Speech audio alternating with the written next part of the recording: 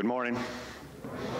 Good to have you all here in God's house as uh, once again, even with the social distance and everything else, uh, we come before our Lord with praise and thanksgiving to receive his wonderful gifts of forgiveness, life, and salvation. Uh, not much for announcements. Today is the day of Pentecost. We'll be celebrating God's sending of his Holy Spirit uh, that he poured out upon his disciples and he poured out upon us in our baptisms. Um, Pastor Fitch's going away service, or uh, I would guess card party, whatever you want to call it. Uh, the details for that is in here. His last Sunday will be June 14th. It'll be one of those bittersweet days. So um, we look forward to that, and we kind of don't look forward to that. We'll just add that to another part of the strangeness that's going on. Like let's kind of let's do that. Um, I think we're gonna. We've been having services on, uh, of course, our eight o'clock or 10:45 and a Monday night and a Wednesday night. But we've decided that Wednesday nights we're going to have kind of masks only for Wednesday nights. We figured we should offer at least one service where those who are most vulnerable feel like they can come to and everyone's wearing masks. So I think we're going to do that on Wednesday nights. So when we post this at home, uh, anybody who's not coming because you kind of were hoping everyone would wear masks, We'll do that on Wednesdays, so we're going to kind of do that. And we'll have some masks available too if somebody comes and they don't have one. So we figured we'd do that as well. Um, besides that, though, I'm just going to have you guys read your bulletins because everything's in the back there. Um, so that way, if you don't catch something, the responsibility's on you instead of on me. But look how that works. Um, but that's all I have. Does anyone have anything else before we get started? All right, well, the peace of the Lord be with you as we begin our worship this morning.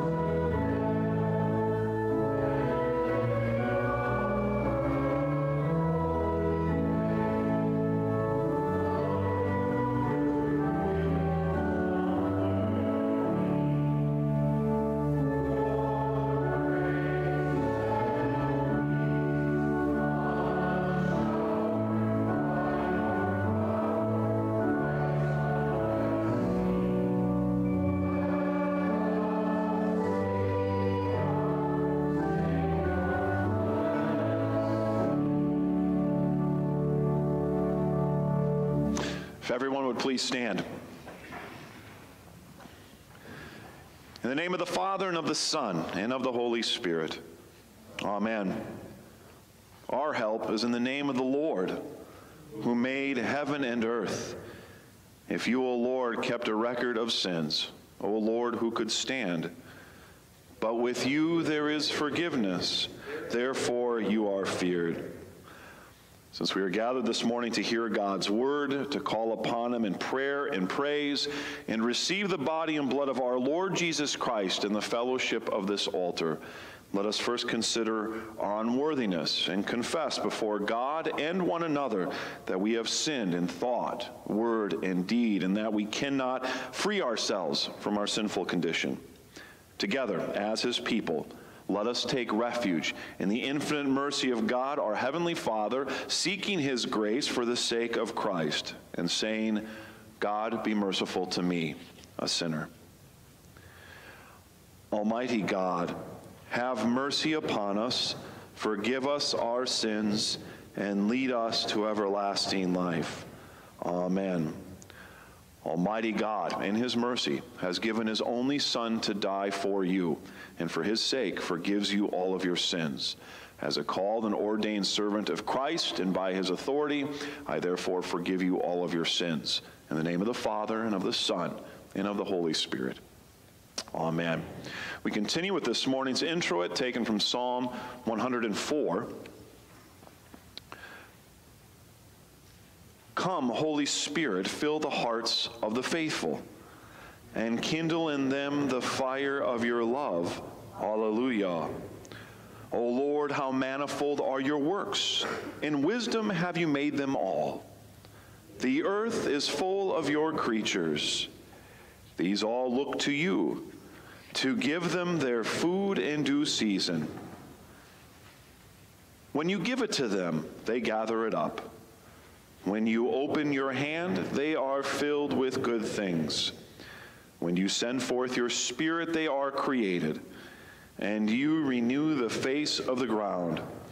Glory be to the Father, and to the Son, and to the Holy Spirit, as it was in the beginning, is now, and will be forever. Amen. Come, Holy Spirit, fill the hearts of the faithful and kindle in them the fire of your love. Alleluia.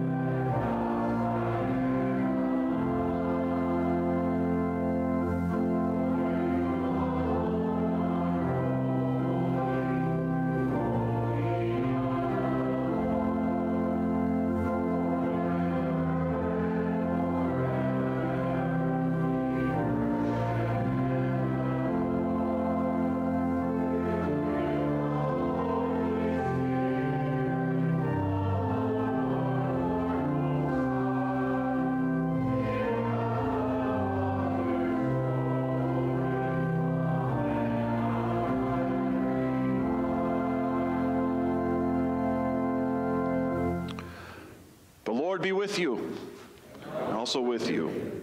Let us pray.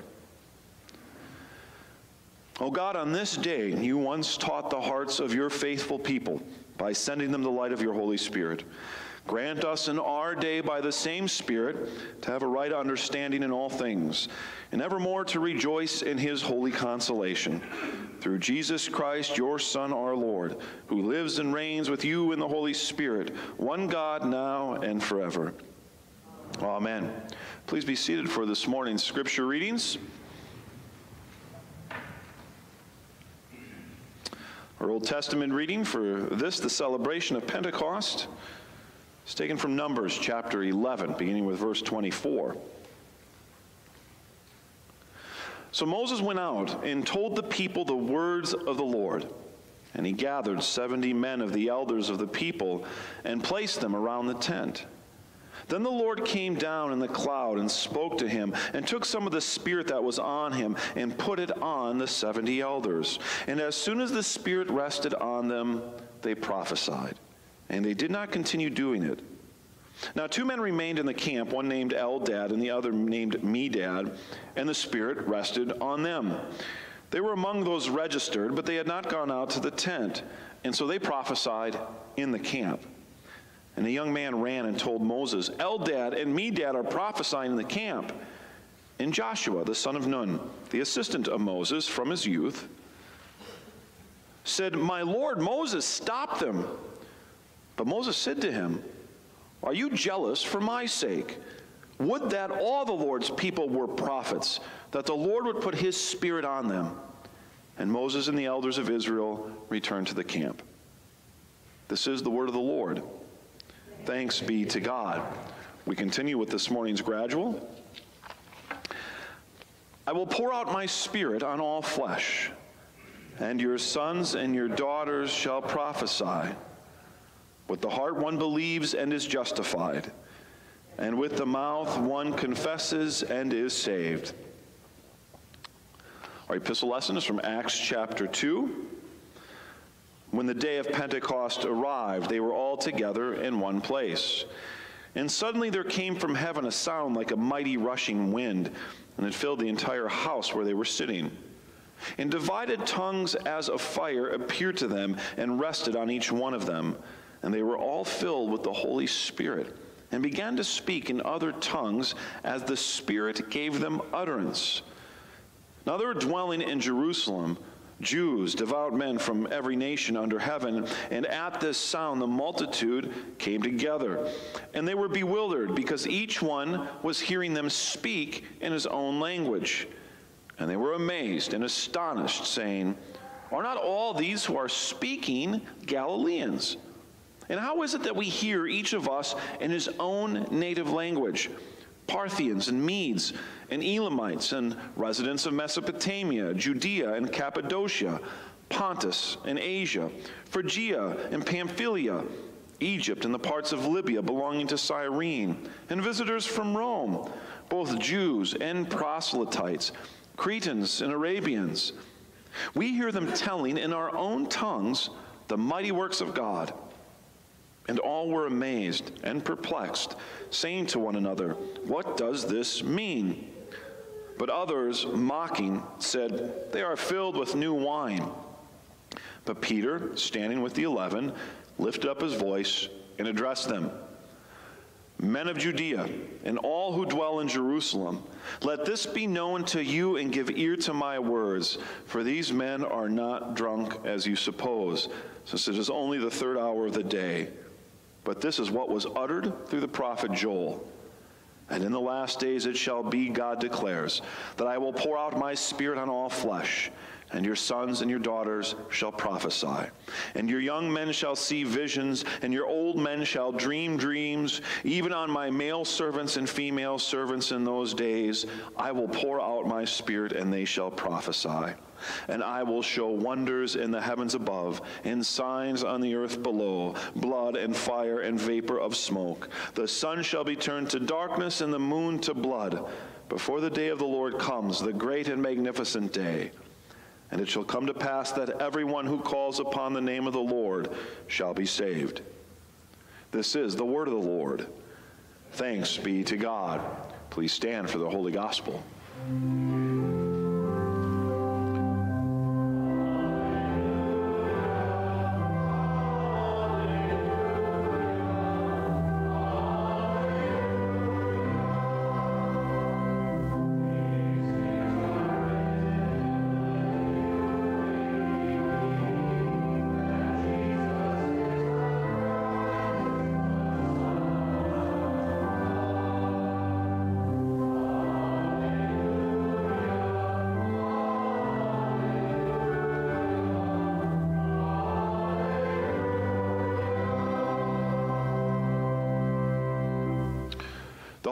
Gospel according to St. John, the seventh chapter.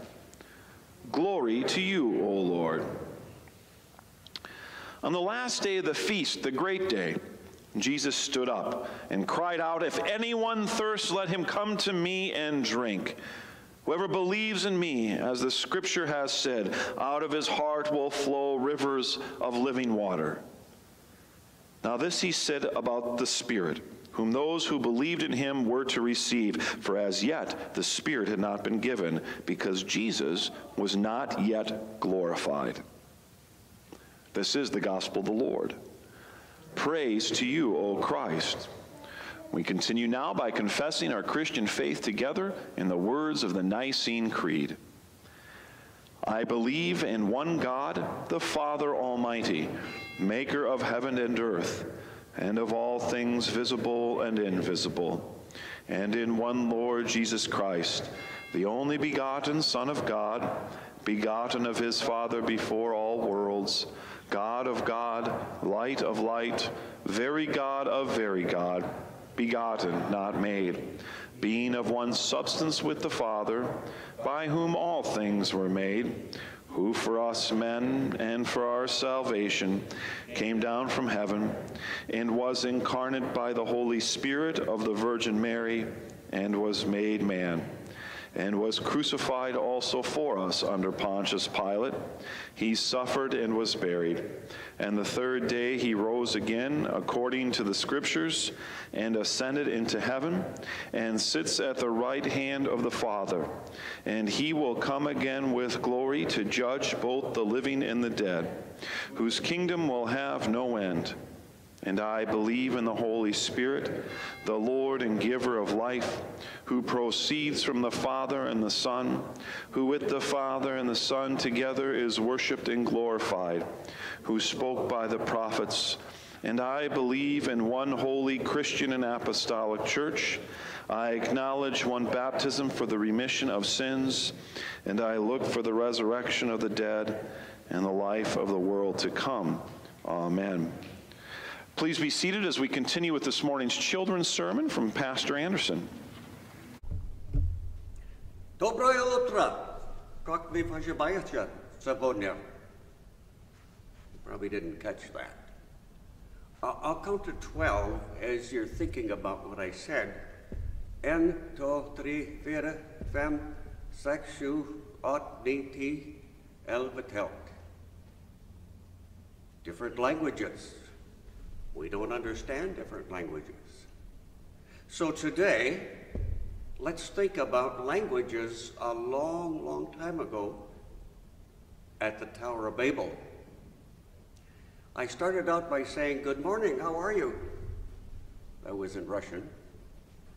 And then I counted to 12 in Norwegian. If some of you Russians are out there, or Norwegians that knew that, you understood that. But it's hard to understand somebody if you don't know their language. And that's kind of what happened at the Tower of Babel. Noah had built the ark. There'd been the great flood. Noah came out of the ark with all the animals. And then some time went on, probably quite a bit of time, and people were concerned that they needed to stay together. They didn't want to go out over all the earth. But God had told that to Adam and Eve about subduing the whole earth, and he gave the same command to Noah and to his three sons. But now the people weren't listening. So what did they do?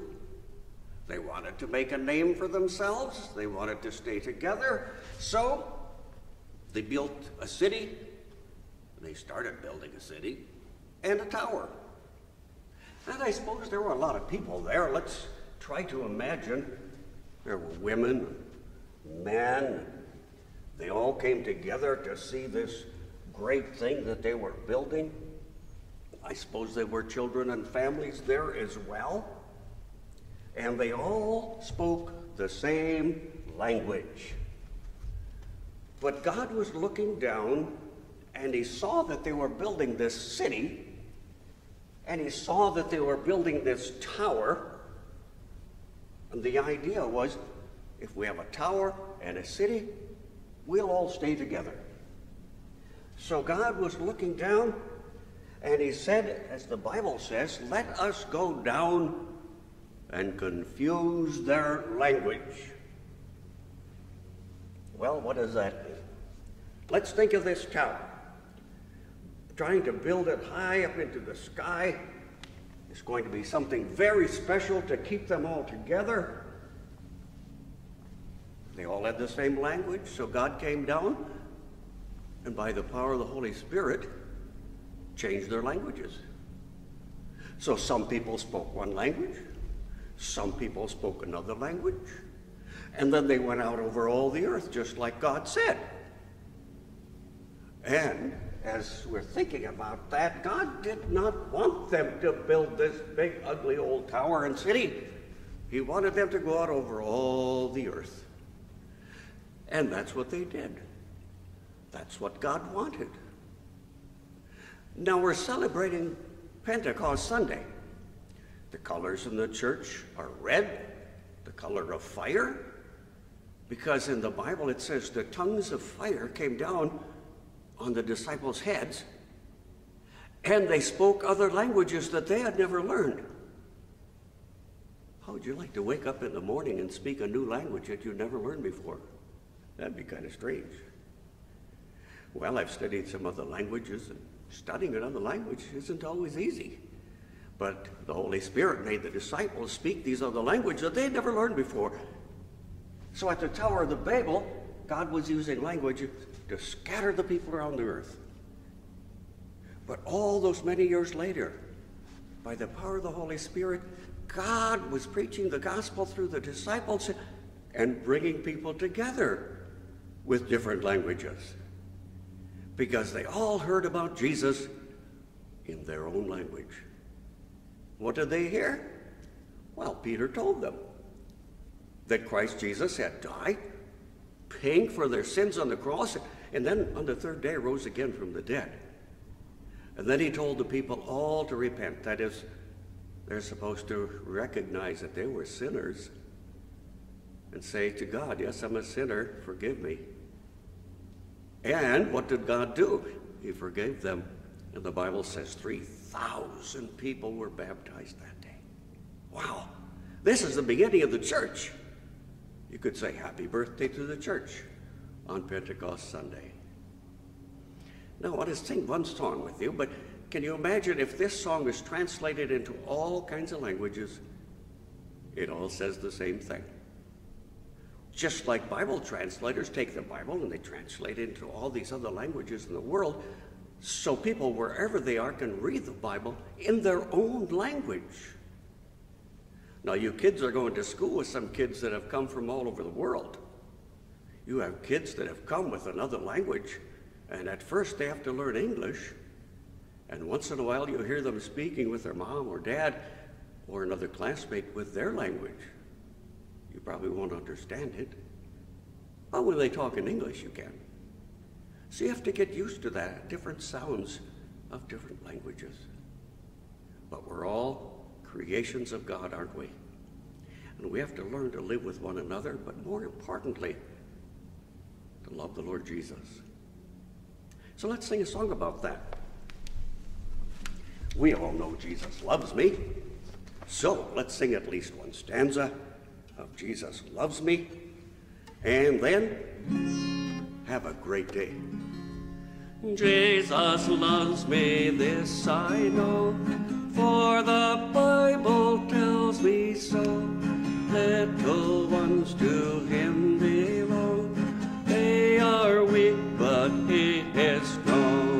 Yes, Jesus loves me, yes, Jesus loves me.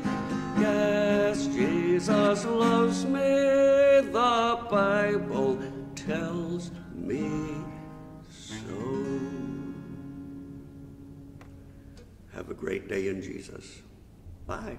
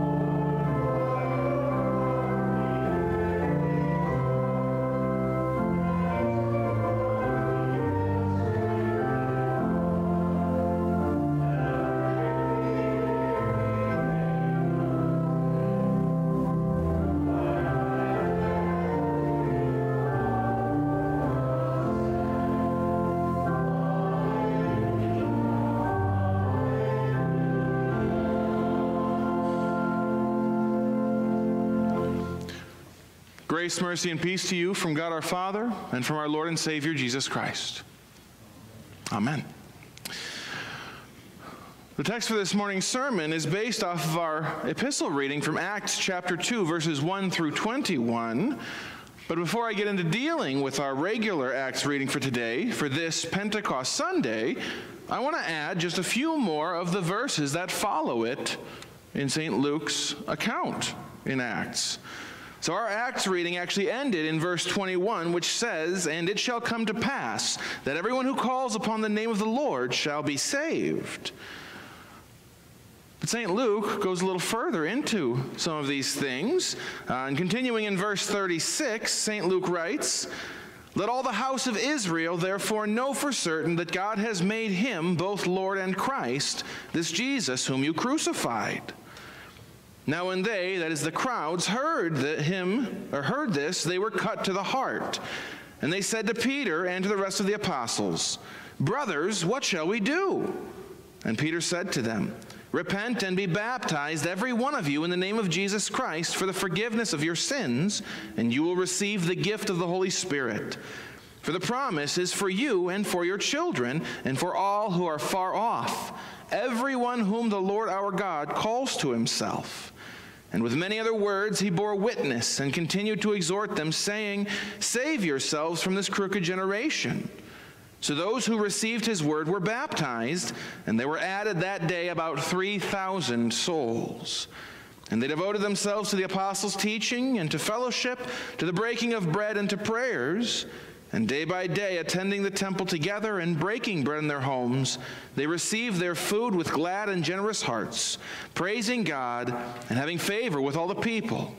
And the Lord added to their number day by day those who were being saved. Scripture is God's Word. It's His creative, saving, living, and breathing Word. And no matter how often we read the Bible, no matter how familiar we become with its message, it always has something new to teach us. And over the years, the account of this special Pentecost that we read about in Acts chapter 2 has often had a few new things to teach me. One of the things that many people do not know or just don't realize is that though this Pentecost was very special, it actually wasn't the first Pentecost. In fact, the Lord instituted Pentecost about the same time that he instituted the Passover. Pentecost was actually originally called the Feast of Weeks. And since the Feast of Weeks came 50 days after the Feast of First Fruits, people began calling it Pentecost based on the Greek word for 50. Pentecost and the Feast of Weeks are actually the same festival, and the Jews have celebrated Pentecost ever since the day of Moses, actually. And it's actually one of three feast days that required the presentation of males of Israel. The law of Moses said in Deuteronomy chapter 16, Three times a year shall all your males appear before the Lord your God at the place that he will choose, at the feast of unleavened bread, the feast of weeks, and at the feast of booths. The Feast of Unleavened Bread is one week long, and it begins the day after the Passover. The Feast of Weeks, or Pentecost, comes 50 days after the Feast of First Fruits, which happens on the first Sunday of that Feast of Unleavened Bread. The Feast of Booths is about six months after the Feast of Unleavened Bread. Now, here's a whole bunch of, of historical stuff for you, right? So, why does this matter? Well, if you actually think about these things and you overlay these festivals over the life of Christ, we actually learn that Jesus died on Passover and he rose from the dead on the feast of first fruits, making him the first fruits of the dead. And then the Holy Spirit manifested himself in a very special way just 50 days later at Pentecost. So the faithful Israelites who followed the instructions that God had given to Moses would be in Jerusalem for these three special feasts. That means that the faithful who presented themselves in Jerusalem according to these instructions from the law were there as witnesses in Jerusalem of the crucifixion and the resurrection, as well as the manifestation of the Holy Spirit 50 days later on Pentecost. So, in this way, the Holy Spirit gathered together his Old Testament church to hear about the mighty works of God in Jesus Christ. And God, the master strategist, had all of this stuff worked out thousands of years before it happened. This brings us to something else that had really not occurred to me for quite some time. As I was growing up in the church, I always enjoyed Pentecost. I always enjoyed hearing about the Holy Spirit being poured out on the apostles at Pentecost. How wonderful of God to give them the Holy Spirit in this wonderful visual, audio way. But there's actually another giving of the Holy Spirit in Scripture. And it happened on the day that Jesus rose from the dead. On the evening of the first day of the week, the disciples were gathered in a house. They'd locked the door because they were afraid of the Jews. And Jesus came in and stood among them, and he said to them in John chapter 20, verses 19 to 23, Peace be with you. When he had said this, he showed them his hands and his side. The disciples then were glad that they saw the Lord. And Jesus said to them again, Peace be with you. As the Father has sent me, even so I am sending you. And when he had said this, he breathed on them and said to them, Receive the Holy Spirit. If you forgive the sins of any, they are forgiven them. If you withhold forgiveness from any, it is withheld. Did you hear it? Jesus already gave the Holy Spirit to the apostles on the day of the resurrection. He said, Receive the Holy Spirit. So if Jesus gave them the Holy Spirit on the day of the resurrection, then why did the Holy Spirit have to come at Pentecost?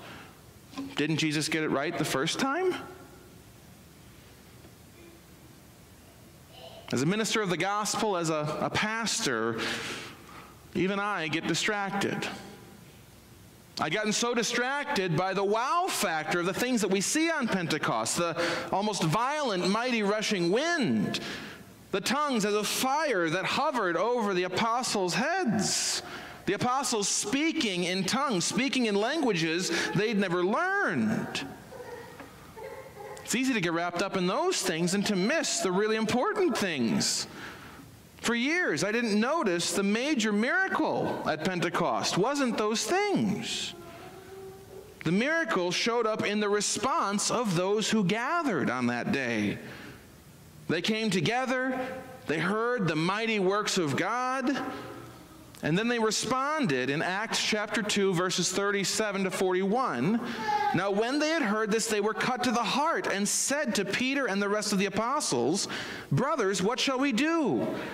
And Peter said to them, Repent and be baptized, every one of you, in the name of Jesus Christ for the forgiveness of your sins, and you will receive the Holy Spirit.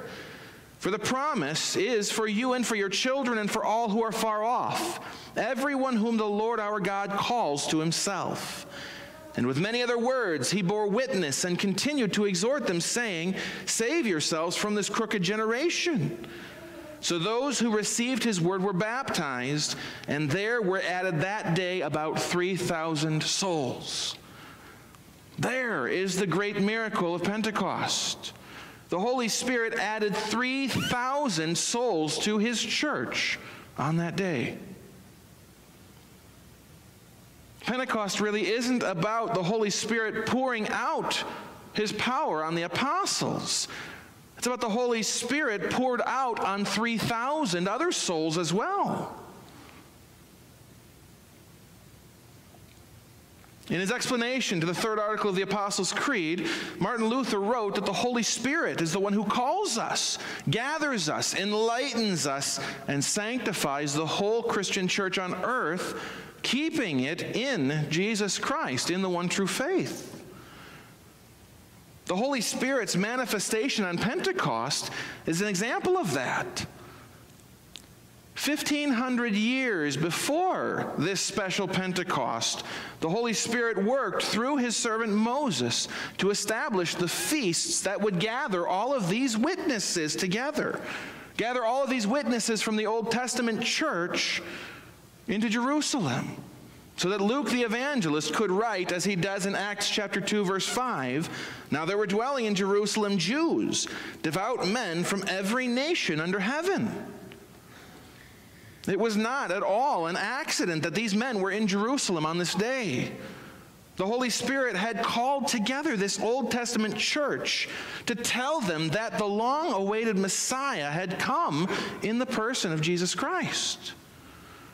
The Holy Spirit was getting ready to convert the faithful of that Old Testament church into the faithful of the New Testament church. That's the reason for these supernatural signs the Holy Spirit was gathering his church together so that they could hear the call of the gospel. And the people of the Old Testament church drew near to the house. And as they did, they encountered people who told them who Jesus was, who told them what Jesus had done for their salvation. And these people didn't speak in high and lofty languages like the language spoken for the Hebrew temple, nor in the street language of Aramaic. They didn't speak the commercial language of Greek or the legal language of Latin. No, instead, each of these sojourners heard in their own language, their own native language, the language that they had learned from their mother and father in their childhood home. Each one of them heard the mighty works of God. These amazing things were the Holy Spirit's means to gather his people together, to tell them that their wait was over. Messiah had come, the New Testament had begun. Those who gathered together on that day had been looking forward to the Messiah. They'd been keeping the ceremonial law of circumcisions and sacrifices and all the other customs that were reminders that one day the Messiah would come to fulfill the whole law and to offer himself up as the once for all time sacrifice to end sacrifices. Their faith looked forward to the future, to the Messiah who was to come and was now here the Holy Spirit gathered the church together to tell her that the Messiah had come in the person of Jesus of Nazareth. He is the Messiah, the Christ, the anointed one. And on this particular Pentecost, the Holy Spirit called together all of these people to create his church.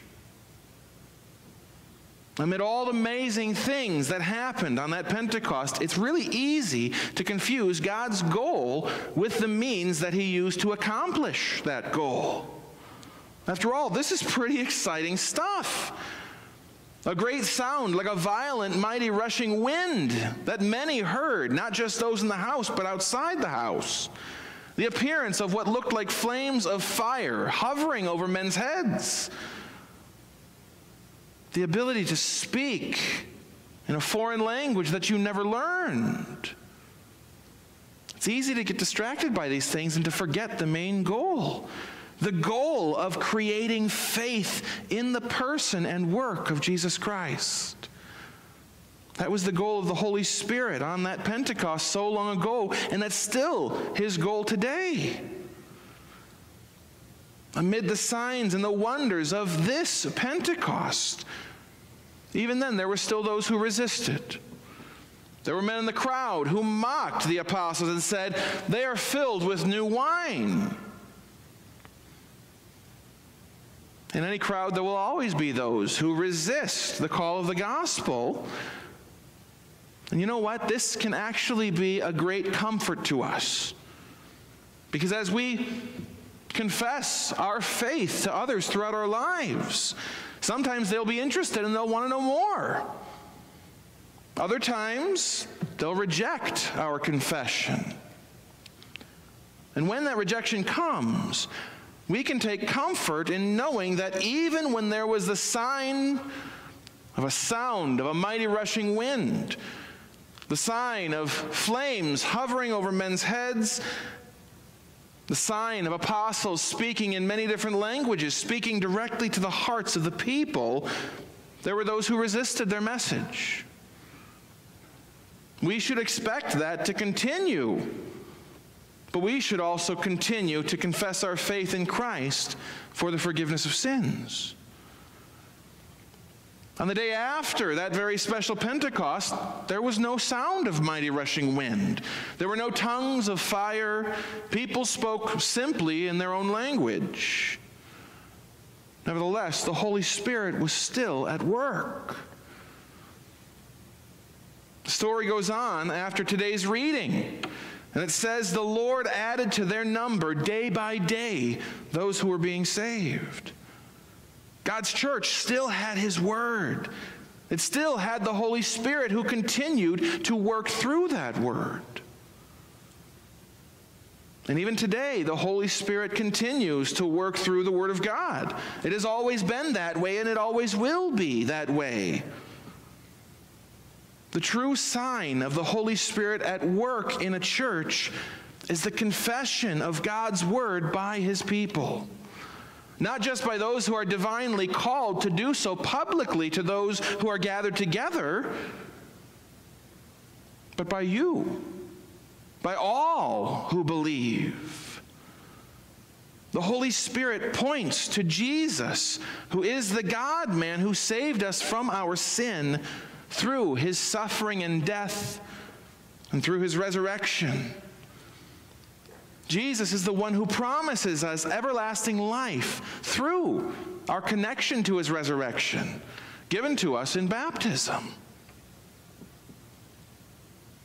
The Holy Spirit works through God's Word when we hear it with our ears, when we read it with our eyes, when we experience that Word in the water of holy baptism, remembered every time we gather together, as we begin in the name of the Father and the Son and of the Holy Spirit. And when we receive the true body and blood of Jesus in the Lord's Supper. The Holy Spirit is at work in us when we confess our faith here before each other. We do this in the Apostles' Creed, the Nicene Creed, or those odd times that we say the Athanasian Creed. We do this as we sing the faith together in the hymns, as we walk through the faith together in the liturgy. The Holy Spirit is at work within us here in this place, but not just here. He continues to work within us as we take him out of this place. You take Jesus out of this place when you hear his word here and use it out there. When you take him bodily in through the taking in of his body and blood. We often think of reaching out to other people outside the church as evangelism, as something better left to a board or left to someone younger or maybe left to someone who's older but in the end for someone else to do. But this is the very reason that we gather together. We gather together to be forgiven by our Lord, to receive his gifts, and to take those gifts out with us when we leave here. Every single one of us comes here to be strengthened by our Lord through receiving his word into our ears, through receiving his word into our mouths so that we go forth from this place sharing His word. This is the reason we continue to exist on this earth, rather than the Lord just calling us home now or at the time of our baptism. In today's Acts reading, the Holy Spirit used light and sound to call the church to hear the announcement that Jesus had come, that he was the one we were looking for, and He is the one who has saved us. The Holy Spirit transformed the Old Testament church into the New Testament church. And the Holy Spirit continues to build His church today. He does that through us. The Holy Spirit still calls us by the gospel, enlightens us with his gifts, sanctifies and keeps us in this one true faith. as He gives each of us new birth into this holy Christian church day by day. In this church, He daily and richly forgives us all of our sins and the sins of all believers. On the last day, He will raise you and all the dead and give eternal life to you and all believers in Christ. This is a wonderful truth. And it is most certainly true. For Christ is risen. He is risen indeed. Hallelujah. We can still say that on Pentecost. Amen. Please bow your heads with me in prayer.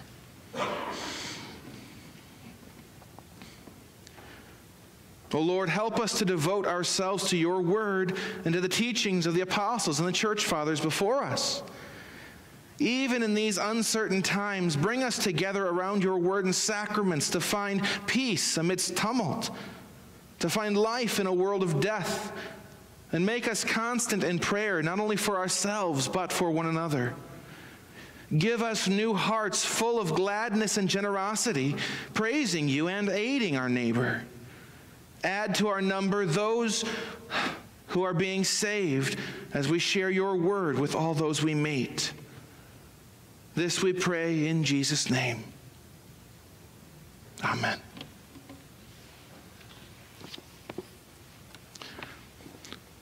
Please rise as we continue with the prayers of the church. Let us pray for the whole people of God in Christ Jesus and for all according to their needs. Almighty God, you have blessed us in love with the Savior to whom the nations cry, and in whom is forgiveness of sins, life, and salvation. Grant to us your Holy Spirit, the Comforter, whom you have promised, that we and all who call upon his name shall be saved. Help us to treasure in our hearts your mercy and give ourselves fully to your service. Lord, in your mercy, hear our prayer. Almighty God, you delivered your word through Moses and the prophets and fulfilled your word in Christ. He was planted in death for our sins and raised for our justification, and in him shall all the nations of the earth be united. Give us pastors who will preach this word faithfully and church workers who are devoted to your service. Lord, in your mercy, hear our prayer. Almighty God, you have promised the thirsty will drink, and from the empty will flow forth rivers of living water. Help us to show forth in holy lives the fruits of the Spirit and to live with love toward our neighbor. Give us a servant's heart that doesn't seek our own way, but walks on the path of eternal life. You have promised to make one people from the many. Take from us all pride, prejudice, and hate, that we may not hinder the cause of the gospel, but give welcome to all people in the name of Christ. Guide, protect, bless, and keep all those hurting and affected by the tragic events in Minneapolis, and bring peace to communities in turmoil.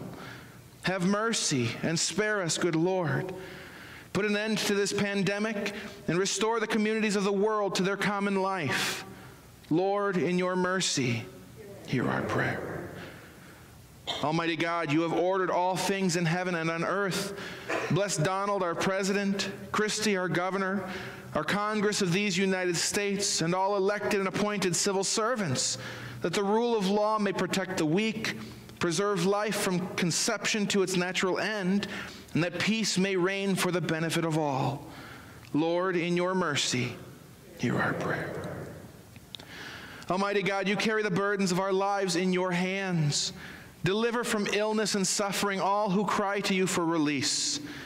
Hear us on behalf of the sick, the dying, and all those who mourn, especially for Brandy and Roger, Pastor Dell and Joyce, Dolores, Amy, and Brenda, Joyce, Monica, Barbara, Leona, and all those we now name in our hearts.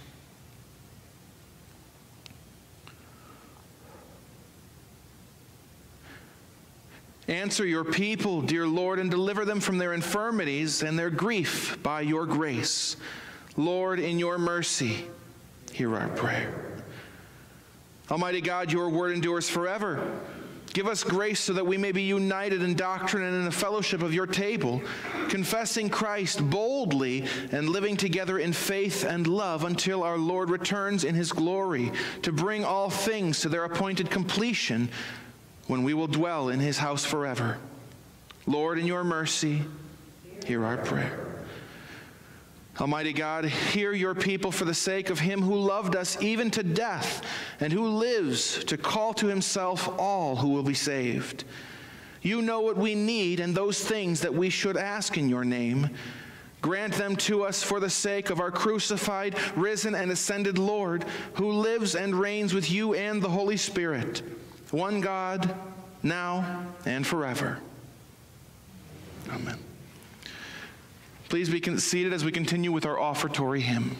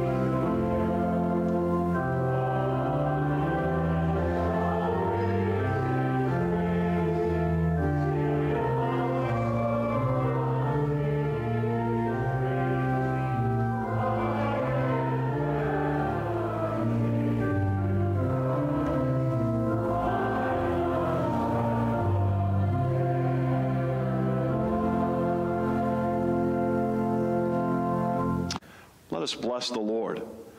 Thanks be to God. Receive the Lord's blessing. The Lord bless you and keep you. The Lord make his face shine upon you and be gracious unto you. The Lord look upon you with favor and give you peace. Amen. Please be seated for our closing hymn sent forth by God's blessing.